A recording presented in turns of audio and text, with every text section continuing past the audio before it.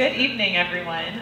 I'm Megan Trezett. I'm the founder of La Jolla Learning Works. For the past nine years, uh, my Learning Center La Jolla Learning Works has been providing one-on-one -on -one educational therapy for students who learn differently.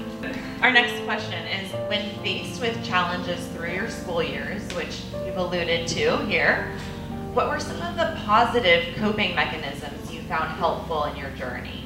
I do that every Sunday night for two hours and I would assess my entire week.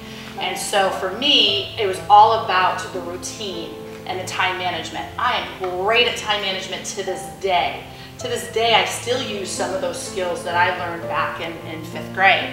I knew that grades were contrived. They were not a reflection of me as a being, who I am as a helper, or what I am to my family.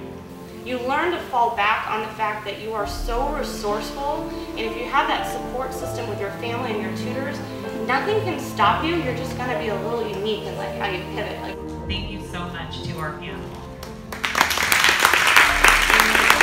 I want to thank Megan.